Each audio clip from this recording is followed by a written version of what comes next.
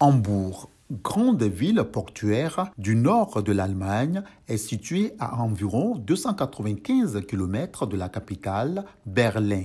Ici vit une communauté ivoirienne forte de 3000 membres.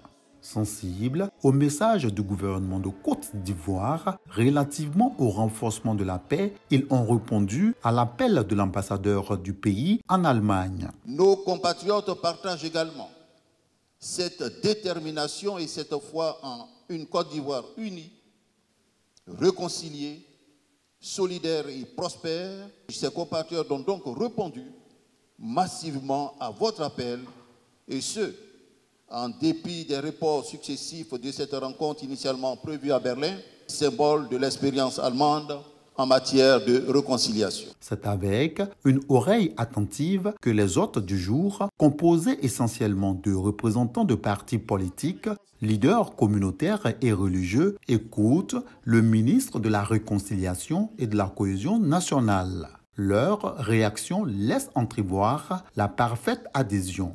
C'est une bonne initiative que le gouvernement et dépêcher quelqu'un pour nous parler de la paix. J'ai aimé son discours, c'est un discours de rassemblement, de rapprochement. Nous avons créé un conseil des sages.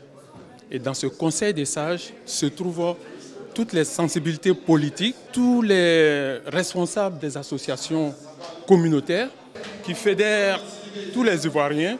Donc euh, je pense qu'on continuera toujours dans ce sens-là. Nous avons beaucoup de projets. Le ministre nous a dit avec nos projets, nous pouvons aller en Côte d'Ivoire. Nous pouvons aller investir. Donc, euh, pour moi, c'est déjà quelque chose, un bon pas. Peu importe le lieu de résidence, le ministre souhaite une contribution individuelle et collective de tous les Ivoiriens au processus de réconciliation en Côte d'Ivoire. Je vous appelle à la responsabilité. Partager nos valeurs et notre histoire.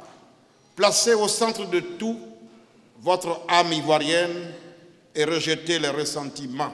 Contribuer au rayonnement économique du pays et contribuer ainsi à la paix. Un ordre du mérite et de la paix ainsi qu'un Conseil national de la paix seront donc bientôt créés. Ça veut dire que partout où vous êtes, tous ceux qui vont travailler pour construire la paix en Côte d'Ivoire, leurs efforts seront reconnus et auront donc ces médailles. Les différents intervenants ont souligné la disponibilité du général Philippe Mangou pour la cohésion et saluent sa nomination en tant qu'ambassadeur en Allemagne par le président de la République, Alassane Ouattara.